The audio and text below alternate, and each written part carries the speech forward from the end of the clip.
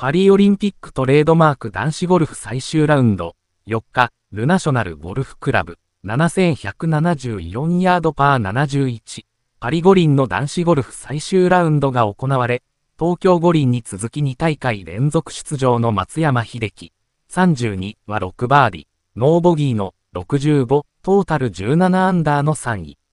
東京五輪ではプレーオフで銅メダルを逃したが、パリ五輪でリベンジを果たし、日本男子史上初の銅メダルを獲得した。2024年マスターズ王者、世界ランク1位の S。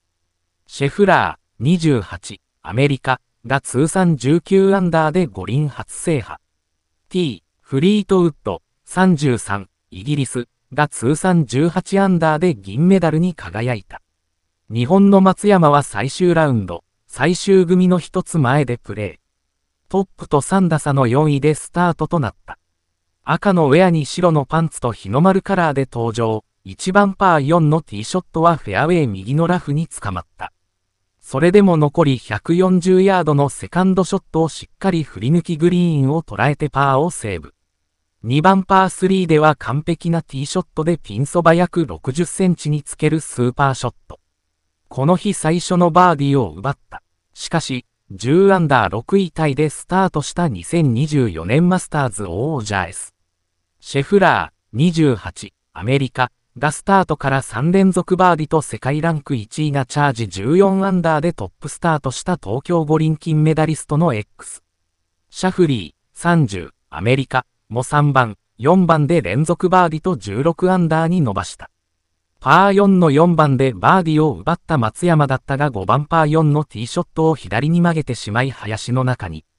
それでも深いラフからのセカンドショットでグリーンに乗せた。